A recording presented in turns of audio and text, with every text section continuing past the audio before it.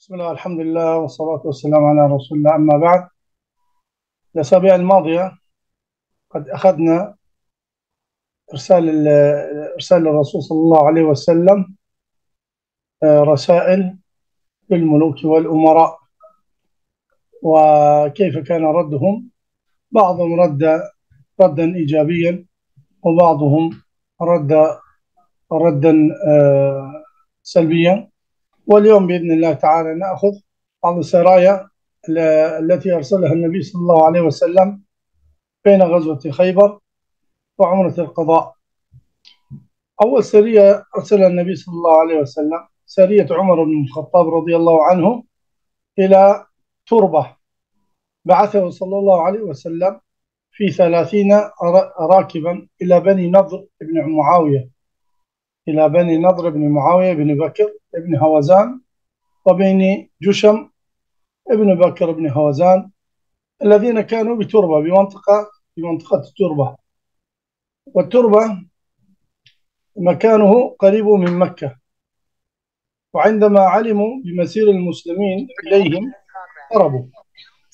فعاد عمر رضي الله عنه وأصحابه وبني, وبني نضر وبني جشم عادوا إلى بلادهم إلى إلى المدينة.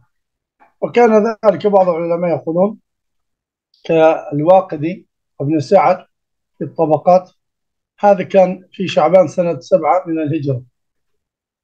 والسرية الثانية سرية أبي, سرية أبي بكر الصديق رضي الله عنه حيث بعثه رسول الله صلى الله عليه وسلم إلى نجد. إلى بني فزارة آه، في أرض نجد. فشن عليهم أبو بكر الغارة فقتل منهم من قتل وقتل منهم من قتل وكان معه في السرية سلمة بن الأكوع حيث تمكن من أسر مجموعة من الذراري فنفله أبو بكر آه، منهم جارية جارية جميلة. وكانت هذه السرية في شهر أيضا شعبان سنة آه، سبع من الهجرة. آه، والسرية الثالثة سرية آه، بشير بن سعد حيث أرسلها النبي صلى الله عليه وسلم إلى ناحية فدك. إلى ناحية فدك. أرسله صلى الله عليه وسلم بثلاثين رجلا إلى بني مرة بفدك. فتمكن من استياق نعمهم يعني الإبل ما عندهم من الإبل والشاة بما كانوا في بواديهم يعني.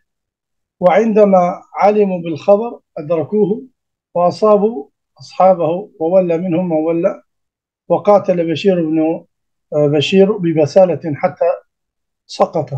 وظنوه أنه قد مات ورجعوا بأناعمهم وفي المساء تمكن بشير آه، في اللجوء إلى فدك وأقام عند يهودي أياما حتى آه، تمضت جراحه, آه، جراحه فرجع إلى المدينة ونقل خبر مصابهم إلى المدينة.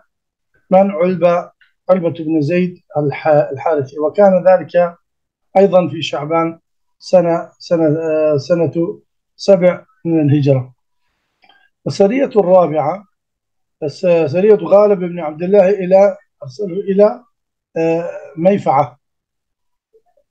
والحقيقة هذه السرية الراجح منها أن هذه السرية هي التي ذكرها البخاري ومسلم وذكرها ابن إسحاق في سيرهم في سيره في روايته من حديث أسامة بن زيد. هذه قصة مذكورة ومشكورة مذكورة ومشهورة. قال أسامة بن زيد فبعثنا رسول الله صلى الله عليه وسلم إلى الحرقة من جهينة آه، لقبيلة جهينة. قال فصحب آه، فصبحنا القوم فهزمناهم ولحقت آه، ولحقت أنا ورجل من الأنصار رجلا منهم. أسامة يذكر هذه القصة بأنه لحق هو وواحد الأنصار رجلا من غير المسلمين من المشركين. فلما غشيناه قال لا إله إلا الله. أراد أن يقتل أسامة بن زيد آه، والأنصاري فتعوذ قال لا إله إلا الله أشهد أن لا إله إلا الله. فالأنصاري ماذا فعل؟ كف عن قتله. لكن أسامة بن زيد ما نفع فطعنه. لما كف عنه الأنصاري حتى ماذا فعل؟ أسامة بن زيد قتله. لما قتل فلما قدم إلى النبي صلى الله عليه وسلم وبلغ ذلك النبي صلى الله عليه وسلم ذلك المشهد فقال النبي صلى الله عليه وسلم لأسامة بن زيد أقتلته بعد أن قال لا إله إلا الله؟ فأسامة بن زيد ندم عن هذا عن هذا الفعل. قال فما زالوا فما زال يكررها حتى تمنيت أني لم أكن أسلمت قبل ذلك اليوم. آه هذا اسم الرجل المقتول. اختلفوا العلماء في اسمه. الصحيح بأنه مرداس بن نهيك اسمه مرداس بن نهيك الذي قتله أسامة بن زيد ومن من الحرقة من جهينة. حليف بني آه لبني مرة. وبعضهم قالوا اسمه نهيك بن مرداس كما ذكر الواقدي. لكن الصحيح مرداس بن نهيك. آه وقد ذكر ذكر أهل السير أن سرية غالب بن عبد الله التي وقعت فيها قصة أسامة مع الرجل الذي قال لا إله إلا الله الذي ذكرناه قبل قليل فقتله على الرغم من ذلك. كانت إلى الميفعة وأن عدتها آه، عدت عدتها 130 راكبا. فبعثهم النبي صلى الله عليه وسلم إلى بني عبد عبد بن ثعلبة وبني عوال. وفيهم يسار مولى رسول الله صلى الله عليه وسلم الذي قادهم إلى مكة إلى مكان الذي قادهم إلى مكان العدو حيث أوقعوا به واستاقوا نعم وشاه وقتلوا من أشرف إليهم. وأيضا هذا في رمضان كان آه، سنة آه، سبعة من الهجرة. فذكر ذكر أن قول لا إله إلا الله بن سعد أن الرسول صلى الله عليه وسلم قال لأسامة عندما بلغه خبر آه، قتله آه، قتله لرجل الذي نطق بشهادة في رواية قال أشققت أو شققت قلبه فتعلم صادق أم هو كاذب؟ فقال أسامة لا أقاتل أحدا يشهد أن لا إله إلا الله. يعني ندم ولم يخوض حتى في خض... في حرب بين أو قتال لما أصبح وقعت قتال بين الصحابة فتنة معاوية وعلي رضي الله عنهما جميعا. فينبغي للمسلم أن لا يقاتل المسلمون وجاء وعيد في ذلك. وأسامة بن زيد لما قتله هو قال قال تعوذا يعني يلتجئ هو ما قال هذا إلا خوفا من السيف كما جاء في بعض الروايات. من هذا الباب وليس يعني هو مسلم. قال شققت عن صدر واليوم ترى مسلم يقتل مسلما. يعني ومسلم يكفر مسلما. فانتشر آه هذه الفتن في هذا العصر بأنه مسلم يذبح مسلم باسم الدين. آه يعني سني يذبح سني باسم الدين. وهذا يقول لا إله إلا الله. يعني مع ذلك آه صاحبه يقتله وأنا شهدت بعض المقاطع قديما. يعني كان يقول أشهد أن لا إله إلا الله أحد. والله أشهد أن لا ومع ذلك ذبحه كيف يعني الجراءة؟ كيف يأتي من نفسك أن تقتل واحد يقول لا إله إلا الله وأنت تذبحه أمام أعين الناس؟